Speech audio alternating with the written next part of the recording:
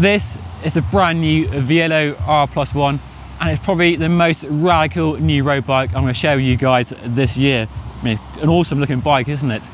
So in this video, we're going to go through all the tech details on it, going to speak to the people behind the brand, and I'm going for a ride and see how it performs. So make sure you keep watching for all of that.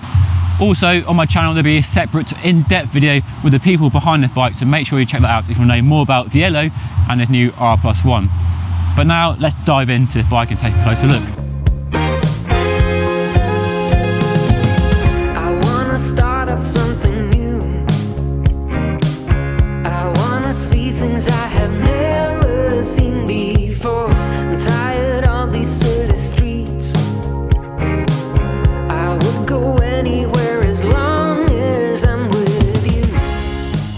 Before we get into ride impressions, let's back up a bit and get into what makes this bike so special. The R Plus One delivers a striking presence. If ever you wanted a vision of the future road bike today, this is arguably it. Your eye is drawn naturally to flat top seat stays, easy to dwell on them before the sculpted down tube carries your gaze to an hourglass head tube and to the company's own one piece carbon handbar.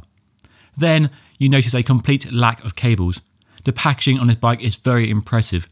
Even the lower end mechanical bike retains its clean appearance. The lack of loud graphics and logos is refreshingly simple. The colours, not to everyone's taste perhaps, are a million miles away from the corporate pro race rulebook that most other bike brands faithfully follow. The all black drivetrain, from the custom chainring to the black chain, lets the frame and fork really stand out. No chrome and bling to distract your eye. The frame is the centre of the show here. And what a frame! Developed off the back of the company's first model, the V Plus One, an all-road gravel bike launched just as roadies were daring to take their cities off-road, it's brimming with modern features. It's disc brakes only and has been designed and optimised around a one-by drivetrain for better stiffness and aero according to the company, and benefits from the progress group set manufacturers are making in this arena. Shimano with GRX, Campag with Ekar, and SRAM with its wide range cassettes.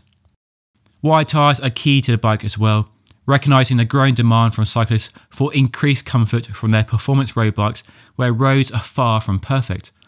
The R Plus One accommodates up to 32mm wide tyres, more than generous enough for most people.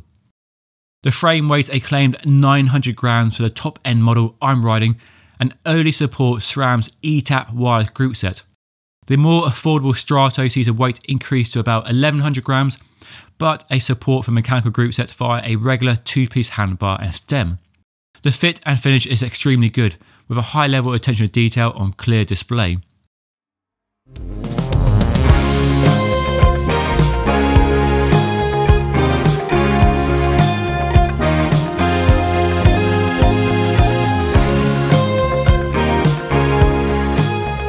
Proving you should never judge a bike by its looks alone, the R Plus One provides a splendid first ride impression on the rolling roads north of Newcastle, the very roads the bike was born and developed on. One ride on the bike does not make a review, of course, but first impressions always count for a lot, and those impressions are one of an absolutely dialed bike. It helps that it fits me not just well, but perfectly. My hands fall nicely onto a one piece carbon handlebar, the hoods are just where I want them. But the biggest impression is the overwhelming sense of speed. This bike is really fast, and it's so easy to ride fast as well. The bike responds well to my desire to get up to speed quickly, it's snappy from low speeds, and builds pace with urgency. But all the time you're pushing as hard as you can on the pedals, the bike is calm and composed. It's not easily flustered by the rough roads either. You might not be able to see the distinctive seat stays when you're riding, but you can certainly feel the bike doing a superb job of soaking up some of the bigger cracks and holes in the road, giving a silky smooth ride. But you feel connected to the road too. It rides beautifully through the corners and sweeping bends, a very engaging ride. The SRAM ETAP group manoeuvres the chain smoothly across a new 1036 wide cassette. The brakes are powerful with a nice lever feel and not a hint of rub or noise. The fabric saddle fits me well, and the Schwalbe Pro 1 tyres are as grippy as limpets but roll with seemingly no resistance. So, in summary, then, this is a modern twist on a classic road bike with all the latest technology utilised to deliver a bike that offers a calm and pacey ride quality that many cyclists seek in a road bike. It certainly won't be for everyone, too radical for some taste for sure, but those prepared to look past convention, the R Plus One is an interesting and exciting choice in a saturated market of lookalike carbon road bikes. So that has been the brand new Vielo R Plus One. If you have any questions about this bike, put them in the comment section down below and I'll do my best to answer them. But that's all for now. Make sure you keep liking, keep subscribing and keep watching and I'll see you all again in the next video.